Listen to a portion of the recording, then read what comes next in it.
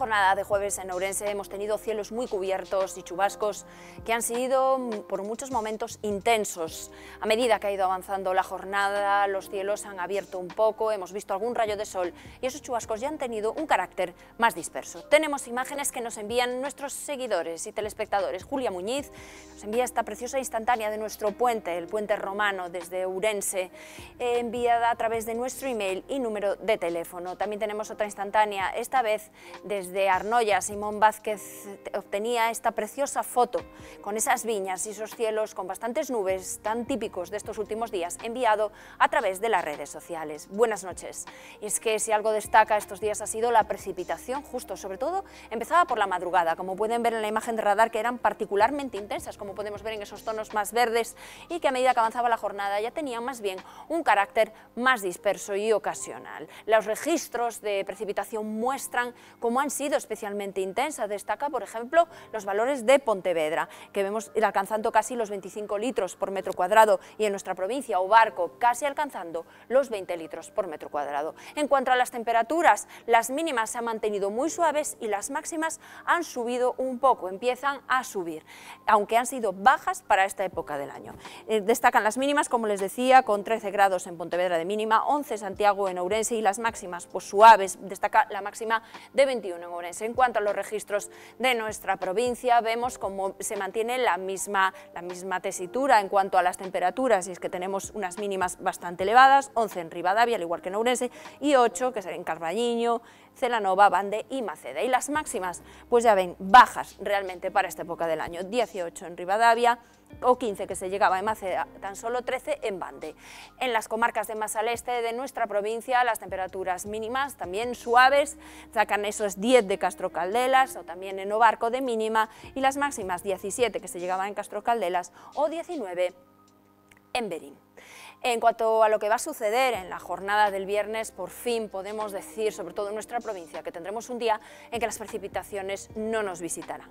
Y es que estaremos bajo influencia anticiclónica, al menos durante el viernes, y ya al final del día, como pueden ver aquí, comenzará a visitarnos la siguiente borrasca. Pero lo que podemos decir del viernes es que tendremos un día en nuestra provincia de cielos eh, bastante despejados, bueno, con alguna nubosidad por la mañana, podemos tener la presencia de alguna bruma matinal más probables en las comarcas de Urense, Yariz, Maceda y también en la zona de la línea. En cuanto avance la jornada, esas nieblas se disiparán y quedarán esos cielos entre nubes y claros.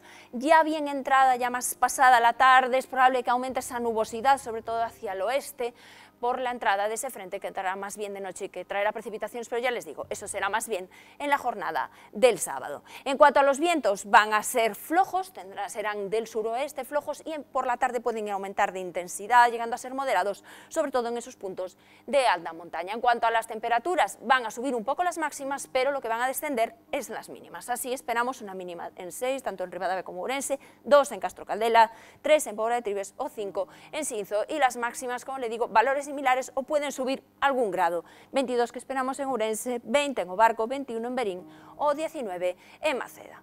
En Galicia tendremos estos días también, este día también será casi sin precipitaciones, podemos decir cielos con nubes y claros y esa nubosidad será más probable sobre todo en las comarcas, perdón, en las provincias del oeste. es probable por la mañana la aparición de niebla, sobre todo en puntos del interior de la comunidad que se irán disipando y ya cuando vaya llegando la tarde, como va a entrar ese frente hacia últimas horas de la tarde y por la noche, esa nubosidad tendrá a ir en aumento y es probable que se registren algunas precipitaciones, ya bien digo, más bien de noche, en el, en el occidente, en la costa occidental y también en el norte de Galicia. En cuanto a los vientos, van a ser flojos del suroeste, pero hacia medida que avance la tarde van a ir subiendo en intensidad y pueden ya tener en el en, el norte pueden tener ya algún componente de carácter fuerte, alguna racha fuerte. En cuanto a las temperaturas, van a bajar las mínimas y van a ir tendiendo a subir las máximas. La variación la vamos a notar sobre todo en las mínimas, así que esperamos una mínima en Lugo de 7, 8 en Pontevedra, 7 también en Vigo, al igual que en Fisterra, 9 en Ribadeo, 7 en Ferrol. Y las máximas, 9 que se espera, perdón, 20 en Ribadeo, 17 en Lugo, 16 en Santiago o 20 que se esperan en la ciudad de Vigo. En la península ibérica tendremos en lo que es pues todo el área cantábrica y Pirineos, también en Cataluña tendremos los cielos nubosos con probabilidad de precipitaciones. Y sobre todo en el noreste de Cataluña y también en el este de Baleares tendremos cielos nubosos y probabilidad de precipitaciones que ahí pueden ser de carácter tormentosos. En el resto de la península ibérica tendremos cielos prácticamente despejados.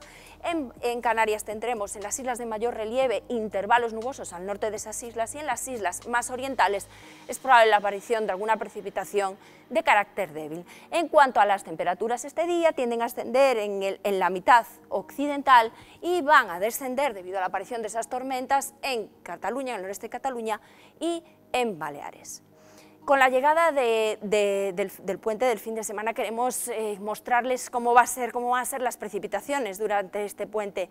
Aquí pueden ver en esta imagen del modelo europeo que vemos cómo, eh, debido a la entrada de ese frente que yo les comentaba que iba a ser el viernes por la noche, el sábado las precipitaciones en nuestra comunidad van a ser más probables y serán más intensas en el norte y en el oeste de las mismas. El domingo, que ya lo pueden ver aquí, Pueden ver cómo estas precipitaciones ya serán mucho más débiles, sobre todo serán por la mañana y ya a medida que vaya pasando la jornada los cielos ya irán quedando más despejados y en la jornada ya del, día, del día de las letras galegas pues prácticamente puede existir algún chubasco aislado, pero la verdad que esperamos que los cielos estén con nubes y claros y que ya, y ya no haya precipitaciones. Recuerden que mañana aquí en el Tiempo en Telemiño les daremos toda la información en detalle para el fin de semana. Buenas noches, hasta mañana.